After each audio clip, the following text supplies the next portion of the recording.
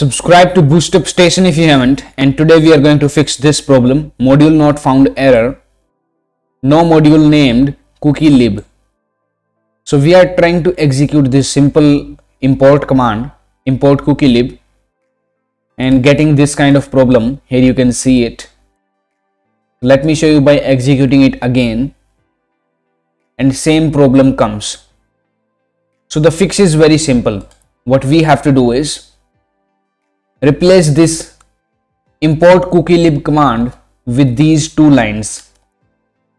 Import http.cookiejar and cookielib is equal to http.cookiejar.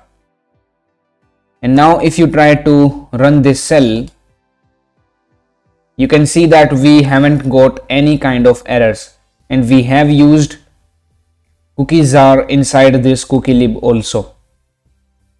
So we have successfully fixed this problem. Now please subscribe to Boostup Station and that's it for now. Thank you for watching. Now it's time to discover more.